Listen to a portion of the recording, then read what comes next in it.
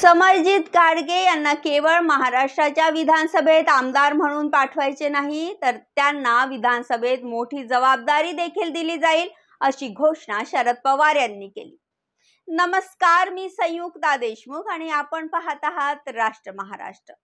कागलमध्ये समरजित घाडगे यांनी आज शरद पवार गटात प्रवेश केला. यावेळी व्यासपीठावरून शरद पवार बोलत होते. पवार पुढे बोलताना म्हणाले की राज्यातील सरकार बदलल्याशिवाय आम्ही शांत बसणार नाही. समरजित यांनी घेतलेला निर्णय सार्थकी लागेल. ज्या लोकांनी गद्दारी केली त्यांना सोडणार नाही. त्यांना त्यांची जागा दाखवणारच असा इशारा त्यांनी नाव न घेता मंत्री हसन मुश्रीफ यांना दिला. भाजप नेते समरजित सिंह घाडगे यांनी आज कागलमध्ये राष्ट्रवादी काँग्रेस शरदचंद्र पवार पक्षात जाहीर प्रवेश केला आहे. घाडगे यांचा पक्ष प्रवेशाप्रसंगी शरद पवार यांची विशेष उपस्थिती होती. यावेळी पक्षाचे प्रदेशाध्यक्ष जयंत पाटील यांनी नाव न घेता अजित पवारांचे आमदार हसन मुश्रीफ यांच्यावर जोरदार हल्लाबोल चढवला. तर समरजित सिंह घाडगे यांच्या उमेदवाराची उमेदवारीची देखील घोषणा केली. त्यावेळी कागल मतदारसंघात अजित पवार गटाचे हसन मुश्रीफ आणि समरजित सिंह घाडगे यांच्यात थेट लढत विधानसभेत होणार आहे.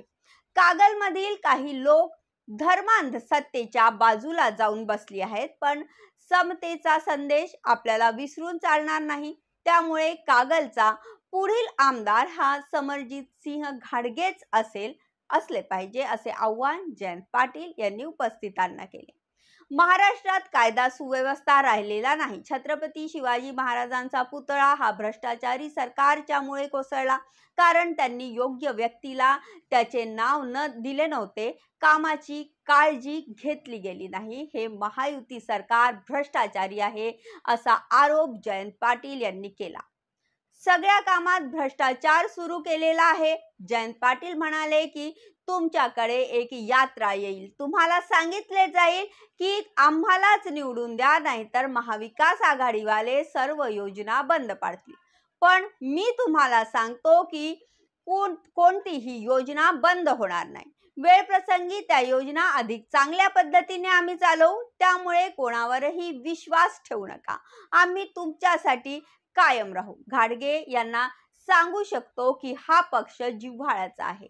आपल्या माणसांचा पक्ष आहे. कधीही पवार साहेबांनी चुकीच्या गोष्टी करायला लावल्या नाही तुमच्यासारखा युवा नेता पवार साहेबांच्या नेतृत्वाखाली काम करेल असा विश्वास मला आहे.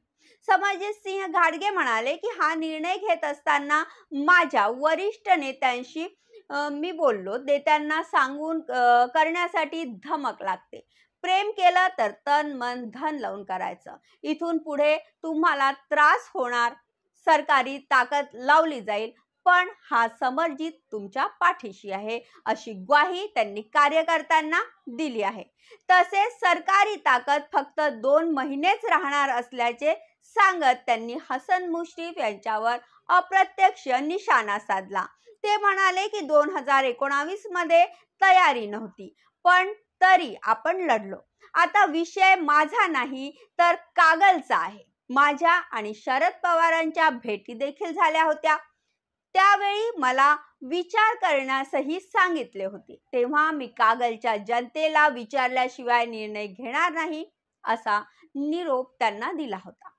अखेर मी त्या संदर्भात निर्णय घेतला. कागल शहराला ऐतिहासिक महत्त्व आहे. देशाला सामाजिक समतेचा संदेश देणारे शाहू महाराज यांचे मूळ गाव कागल. यामुळे शरद पवार यांचे या मतदारसंघावर पहिल्यापासूनच विशेष प्रेम व लक्ष आहे. या मतदारसंघातून एकेकाळी शरद पवारांचे शिष्य समजल्या जाणारे हसन मुश्रीफ हे पाच वेळा निवडून आले आहेत. दिल बदललेल्या राजकीय परिस्थितीत मुश्रीफांनी अजितदादांची साथ दिली. त्यामुळे कोणत्याही परिस्थितीत कागलची जागा राखायचीच या ईर्षेने शरद पवारांनी थेट समरजित घाडगेंना पक्षात घेतल्याचे घेतल्याने राजकीय वर्तुळात बोलले जात आहे. समरजित घाडगेंच्या पक्षप्रवेशाची सभा ज्या गैबी चौकात झाली त्या चौकात विधानसभेची शेवटची सभा घेतली जाईल असं समरजित घाडगेंनी सांगितलं. यंदा विधानसभा निवडणुकीत शेवटची सभा गैबी चौकात होणार.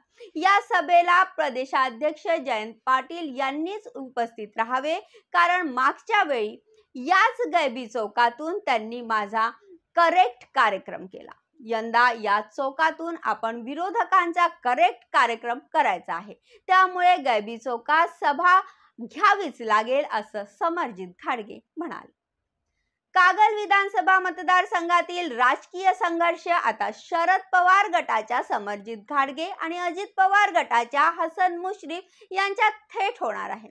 या लढाईचा शेवट कुठे आणि कसा होणार हे पाहणं रंजिक रंजक ठरणार आहे.